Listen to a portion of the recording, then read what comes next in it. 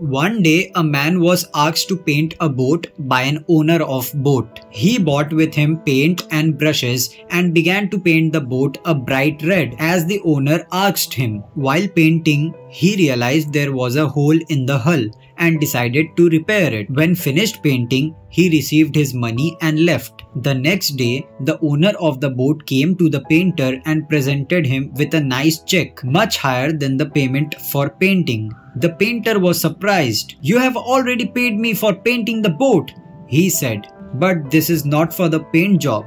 It's for having repaired the hole in the boat. Ah, but it was such a small service. Certainly, it's not worth paying me such a high amount for something so insignificant.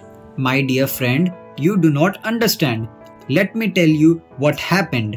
When I asked you to paint the boat, I forgot to mention about the hole.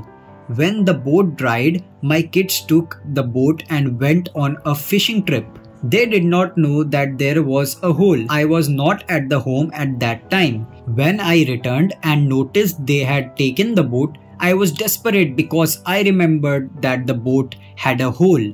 Imagine my relief and joy when I saw them returning from fishing.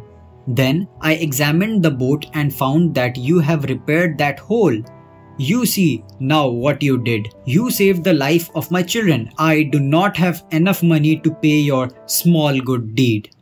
Moral of the story No matter who, when, or how, just continue to help, sustain, wipe tears, Listen attentively and carefully repair all the leaks you find because you never know when one is in need of us or when God holds a pleasant surprise for us to be helpful and important to someone.